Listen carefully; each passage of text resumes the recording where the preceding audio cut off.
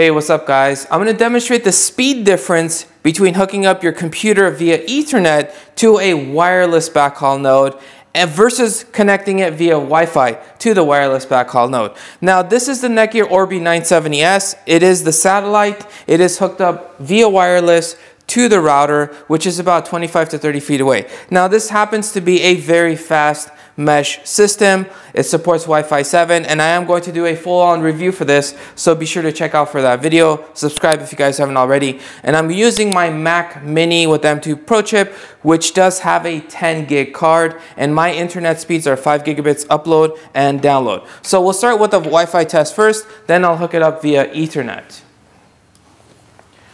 So I'm to open up the speed test app. I'm to click go and we're going to see how fast this goes. Now the Mac Mini M2 Pro chip uh, supports Wi-Fi 6E. It doesn't support Wi-Fi 7, otherwise it'd be going faster than this. And honestly, the Wi-Fi 6E on the Mac Mini is not even as fast as it is on the Galaxy S23 Ultra. Actually gets faster speeds on Wi-Fi 6E than the Mac Mini does. So as you guys can see, getting 1100 down, 1250 down, I can run it again just so we could see, but it's basically going to be around the same. Uh, now this is an internet speed test. Okay, it's going a little bit faster this time. So, okay, it's slowing down, so I spoke too soon. But basically, you know, around the 1200 range for download and upload.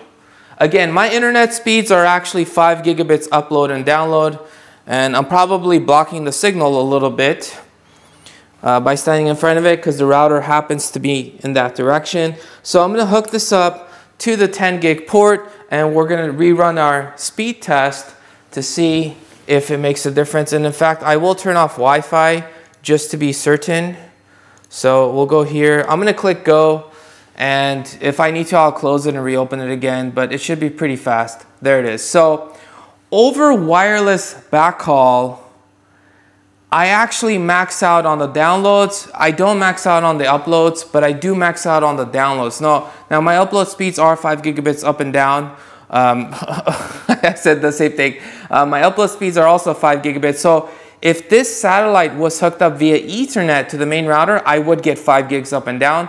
But the fact is, this is the difference. So if you have a fast enough gigabit port on your computer, even if the satellite is wirelessly connected, it will get faster speeds. Typically speaking, I mean, there are cases where it won't, but generally speaking, um, and it doesn't have to be the Orbi, it could be some other mesh system. It could be like a Deco XE75, for example, or, uh, or an older Orbi like the Orbi RBK752. So one other thing I wanted to add to the video is I want to do a local speed test. So I'll start the test as, I, as I'm explaining it. Now I've done it actually a, a whole video on explaining the whole concept. So I'll give you guys a summary. If you guys want to check out the video, I'll put a link in the description below.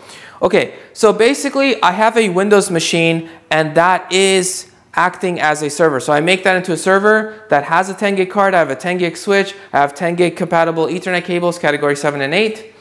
And I also have this uh, Mac Mini also supports 10 gigs. The Orbi supports 10 gigs. So I have a full 10 gig local area network. So this is basically doing a speed test between this and my other computer. So I'm not going through the internet. So I'm not relying on my ONT, which is basically like a modem. And I'm also not relying on the public speed test server. So as you guys could see, it is way faster because this Orbi is actually much more capable than what my internet is actually showing. So this is why I like to do local speed tests.